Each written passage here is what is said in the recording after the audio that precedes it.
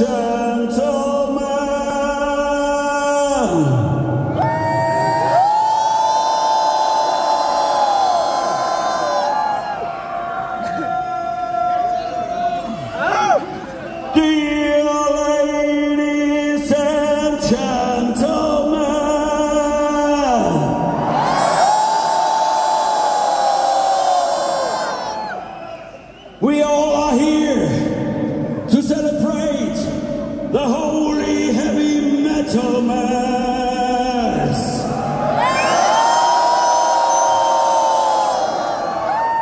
And I think we have celebrated the heavy metal mass.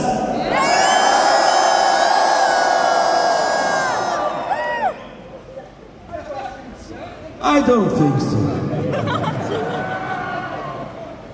We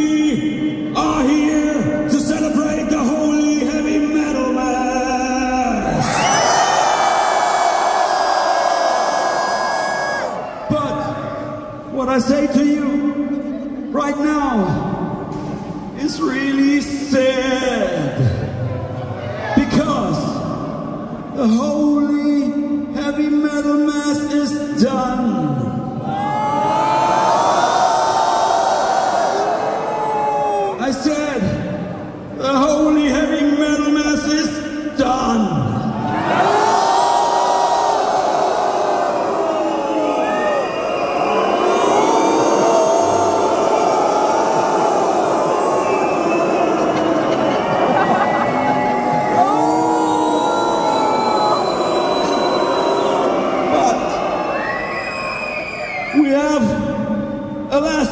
for you.